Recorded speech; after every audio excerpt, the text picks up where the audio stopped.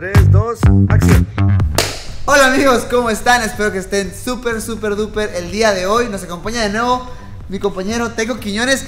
Cabrón, qué locura las últimas semanas, ¿no? De loco, la neta, y muchas felicidades, carnal. Inicio, muchas gracias. Vamos Tenemos el ese título, carnal. A new, a new. Señores, ya saben lo que ha estado pasando. Teco iba a pelear una semana antes que yo. Smolka sufre eh, complicaciones el día de la pelea, pero ya se le mueve al 5. Cinco Va a de pelear el diciembre. 5 de diciembre. Y el 12, el campeonato. Güey, y el 12, en tres semanas, voy por el campeonato del mundo de las 125 libras. Estoy muy contento, señores. Muchas gracias. Tengo el compromiso en el canal, entonces estamos chambeándole, ¿no? Ya el lunes vamos a empezar. Voy a enseñarles lo que pasó en la pelea, nada más para darle algo de variedad. Vamos a hacer exactamente la secuencia de qué sucedió, cómo tomé la espalda al final. Entonces, mi oponente era zurdo y yo sabía que le gustaba mucho girar y sabía que le gustaba de repente sorprender. Es largo, tiene muy buen pateo, me estaba pateando mucho al, al cuerpo, recibí dos, tres patadas, estaba bloqueando de buena manera. De repente me las cambiaba el pie. Una vez que, una vez que detecté el timing del pateo, lo único que hice fue aventar mi pierna hacia atrás para que él se fuera en banda. Le gusta girar, yo sabía eso. Hay que estar conscientes, yo lo veo así. Cuando peleamos con alguien que tiene buenos codos, que tiene buenos giratorios, quieres estar o muy lejos o muy cerca. O muy lejos porque no tiene, tiene la distancia muy larga. Sabes que los codos son a corta distancia. Entonces, si él tira un codo, está lejos, simplemente no te va a alcanzar. O muy cerca, entonces me patea. ¿A qué me refiero muy cerca? Sé que va a girar posiblemente. Me pego a él. Lo que pasó en la pelea me alcanzó a dar, pero me dio con el antebrazo y realmente ahí no hay poder. Ya en este punto por aquí ya empieza a causar problemas, pero aquí no hubo problema. Aquí estuvimos bien. Una vez que conecto las caderas, hice esta transición. Mi pierna izquierda pasó a meter el gancho cerca. Aquí hay dos opciones. Una es este gancho o otra es este gancho. Yo hice esto. Elegí este gancho. Miyao Hook, le dicen muchos. Una vez que conecto las caderas, conecto la pierna, paso por arriba. Agarro mochilita. Y aquí, lo único que tengo que hacer es ponerme pesado en mis caderas y pesado en mi hombro. Pegar mi cabeza y irme para para- irme para enfrente, irme para enfrente. Una vez que caigo, esta pierna es la clave. Porque posiblemente lo que quiera hacer Teco es sobregirar, sobregirar, sobregirar. Y quedar del otro lado para empezar a sacar las caderas y escapar. ¿Ok? Pero regresa Teco, por favor. Esta pierna va a evitar el, el giro de Teco. Entonces, Teco va a querer girar. Y lo, me pongo como base, me pongo bien duro para por frenar el giro. Al mismo tiempo que mi pierna izquierda la estiro. Vean cómo con mi empeine atoro completamente la pierna de Teco. Una vez que logro contelar esto, hay dos opciones. Espalda completa, que la verdad es que Royal estaba defendiendo de muy buena manera y no pude meter el gancho. O está la otra, media espalda. Haces un triángulo con tus piernas y esta la pasas por abajo. ¿Ok? Lo que van a querer hacer es pasar por arriba, empezar a levantarte las caderas para empezar a romper el triángulo.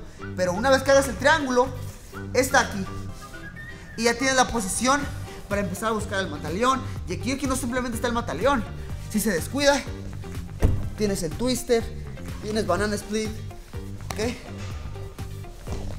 Va de nuevo. Estaba peleando, estamos peleando. Me tiró la patada, giro, me pego. Me da con el antebrazo y quedo aquí. Me pongo de lado, meto el gancho y lo enredo. Esa es una opción. La otra opción es estirar la pierna.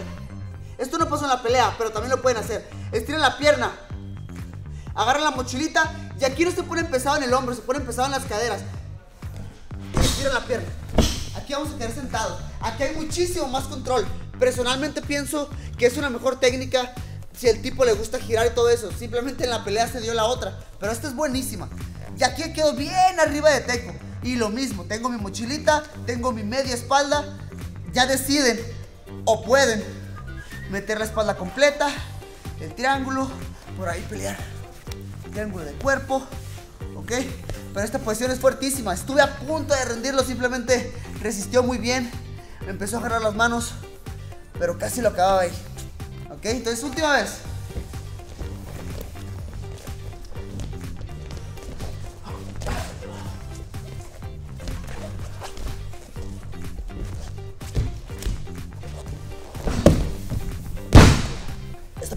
Detiene el giro, detiene el giro.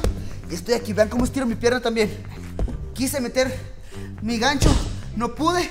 Ok, triángulo. Triángulo aquí abajo y la mochilita. Lo pueden controlar y lo pueden empezar a estirar para empezar a meter el mataleón. Y aquí estamos durísimo, ¿ok? Y veamos la otra, solamente para aprender un poco más. Ya desde aquí, desde la espalda. Estamos aquí, metemos el gancho. En vez de hacer esto, vamos a estirar. Estiramos la pierna, agarramos la mochilita y nos ponemos pesados. Estiramos la pierna. Y lo mismo, esta pierna queda de base. Acomodo mis caderas. Metemos el gancho para la espalda completa. O cerramos el triángulo y tenemos bien segura la media espalda.